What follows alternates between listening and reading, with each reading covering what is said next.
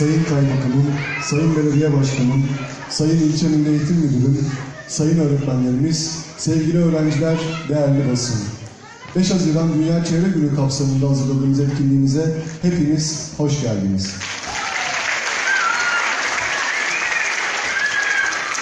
Şimdi hepinizi bir dakikalık saygı duruşu ve akabinde İstiklal Marşımızı okumaya davet ediyorum. Arz ederim.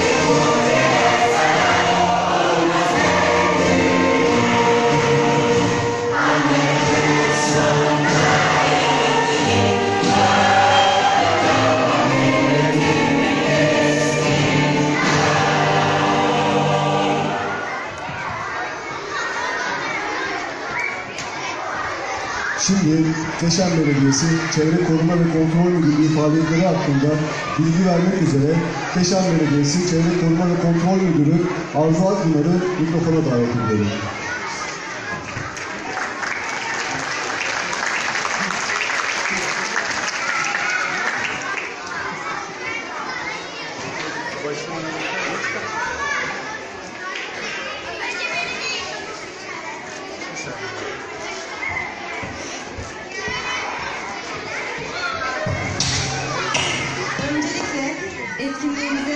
Hoş geldiniz.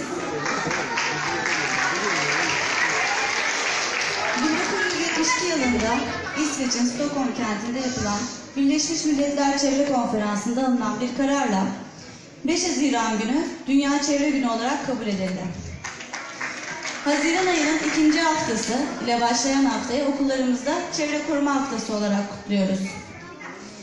5 Haziran Dünya Çevre Günü'nde tüm dünyada çeşitli etkinlikler yapılmaktadır. Fakat çevreyi yılın yalnızca bir günü hatırlayıp ona gerekli özeni yalnızca bir günde dile getirip sonraki günlerde çevreyi unutmak geleceğimizi yok etmek anlamına gelmektedir. İnsanoğlu olarak doğaya verdiğimiz zararlar azımsanamayacak kadar fazla. Yeşili çok seviyoruz. Ormanlarda piknik yapmak, yürüyüş yapmak bizi rahatlatıyor. Fakat doğayı her ziyaretimizde biraz daha yaralıyoruz. Pikniklerimizden sonra ortaya çıkan çöpleri olduğu yere bırakıp ayrılıyoruz. Böylece hem orman yangınlarına sebep oluyor hem de toprağın verimliliğini düşürerek çevremize zarar veriyoruz. Sanayileşme ve kentlerdeki nüfus yoğunlukları çevre sorunlarının artmasına sebep olmaktadır. Bütün ülkelerin ortak sorunu haline gelen çevre kirlenmesi günümüzde insan sağlığını tehdit eder boyutlara ulaşmış, küresel ısınma ile iklim farklılıklarının meydana gelmesine sebep olmuştur. Sanayi atıkları, spreyler, yakıtlarda ortaya çıkan dumanlar, petrol ve ilaç atıkları, plastik ürünler, suni gübreler, çöpler, çevre kirlenmesine sebep olan en önemli etkenlerdendir. Keşan Belediyesi olarak çevremizin kirlenmesini azaltabilmek, gelecek nesillere daha sağlıklı bir çevre bırakabilmek amacı- amacıyla atıklarımızı ayrı topluyoruz. Bunlar bitkisel atık yağlar, ambalaj atıkları, ömrünü tamamlamış lastikler, tıbbi atıklar, elektronik atıklar, atık pillerdir.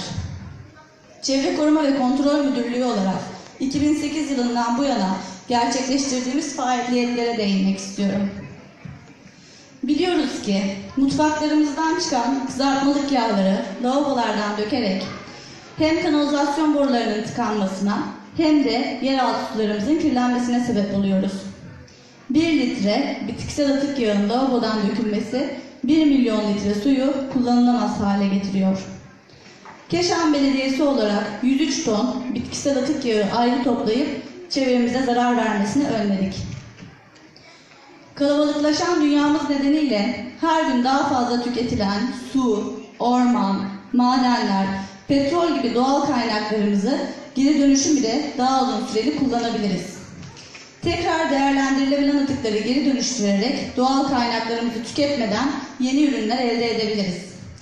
Örneğin geri dönüşen her ton cam için 100 litre petrol tasarrufu sağlanır. Metal ambalajları ve ahşap ambalajları geri dönüştürerek doğal alanlarımızı bozulmadan koruyabiliriz. Plastik ambalaj atıklarının geri kazanılması sonucu ise petrolden tasarruf sağlanabilmektedir. Bir ton atık kağıdın geri dönüşüme gönderilip tekrar kağıt olarak kullanılmasına katkı sağladığımızda 17 tane yetişkin ağacın kesilmesine engel olduğumuz bilinciyle 3435 ton ambalaj atığını ayrı toplayıp geri dönüşüme kazandırdık. Uzun yıllardır tüm gelişmiş ekonomilerde önemli bir çevre sorunu oluşturan ömrünü tamamlamış lastikler, lastiklerin toplanması ve geri kazanılması için ilçemiz sınırları içerisinde bulunan atık lastik üreticilerinden bugüne kadar 683 ton atık lastiği toplayıp geri dönüşüme gönderdik. Tıbbi atıklar doğrudan veya aracı hayvanlarla bulaşabilen birçok hastalığa sebep olabilmektedir. Bu nedenle tıbbi atıklar normal çöp depolama alanında depolanamazlar. Belediyemizin öncülüğünde kurulan Güney Edirne Katı Atık Birliği bünyesinde bulunan tıbbi atık sterilizasyon tesisinde bu atıkları zararsız hale getirerek düzenli depolama sahamızda bertarafını sağlıyoruz. İlçemiz sınırları içerisinde sağlık kuruluşlarından bugüne kadar 497 ton tıbbi atık toplayarak canlılar üzerinde oluşabilecek zararların önüne geçtik. Elektronik endüstrisi dünyanın en büyük ve hızla büyüyen üretim sanayisi olması nedeniyle bu muvinin sonucu olarak ve hızla demode olma nedeniyle hurda elektronik atıklar dünyada en ciddi katı atık problemlerinden birisi haline gelebilmiştir. Bu sebeple de 4 ton elektronik atığı ayrı toplayıp geri dönüşüme kazandırdık. Ve piller. Bir adet kalem pilin 7 ton tarım toprağını kullanılamaz hale getirdiği ve toprağın bir daha hiçbir şekilde geri dönüşümünün mümkün olmadığı düşünüldüğünde korkutucu bir gerçek ile karşı karşıyayız. Bu bilinçle 2008 yılından bu yana atık pilleri toplayıp bugüne kadar 6957 kilogram yani 7 ton atık pilin doğaya karış, karışıp zarar vermesinin önüne geçtik. Bu kapsamda düzenlediğimiz atık bil yarışmalarının katkısı büyüktür. İlçemiz merkezindeki okullarımızın öğrencilerine katkılarından dolayı teşekkür ediyoruz.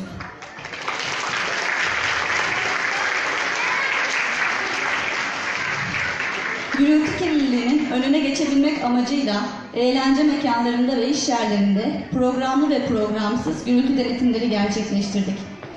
Denetimlerimiz sonucu yapılan iyileştirmelerle gürültü kirliliğinin önüne geçtik. Hava kirliliği konusunda bilinçlendirme toplantıları düzenledik. Kurallara uymayan apartman yöneticileri ve kömür satıcılarına idari yaptırımlar uyguladık. Uygunsuzluğun tespiti halinde birçok kömür firmasının kömürlerini toplattık ve satış izin belgelerini iptal ettirdik. ilçemizde bulunan tüm kazan dairelerinin denetimini gerçekleştirip gerekli iyileştirmelerin yapılmasını sağladık.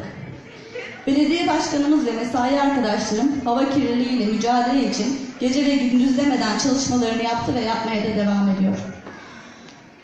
Ayrıca sizlerle e, bir proje hakkında bilgi vermek istiyorum. Girişte bir örneğini görmüş olduğunuz plastik hayvan yuvası. Şimdi bu plastik hayvan yuvasıyla biz e, nasıl bir bilgilendirme yapacağım size? E, bu belediyemizle Plastik Sanayi Derneği, Derneği ile ortaklaşa yeni bir proje başlattık. Projemizin adı Yuvaya Dönüşen Plastikler. Bu projede yapılması gereken ise çok basit. Ne kadar çok plastik atık, o kadar çok hayvanlar için yeni bir yuva.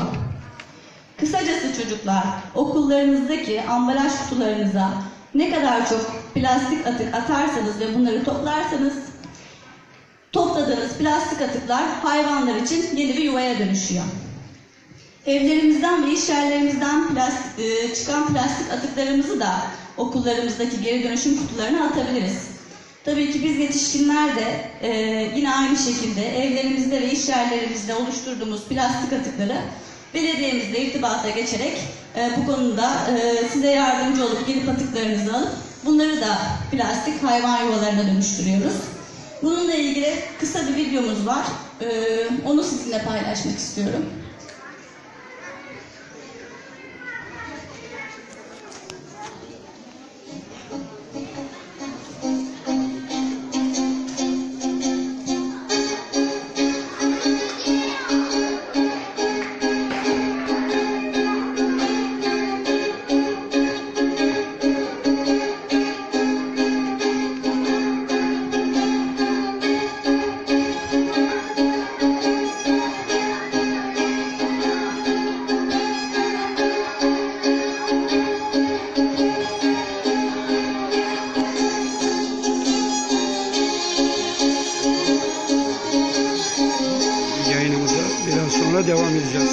Yayınımıza biraz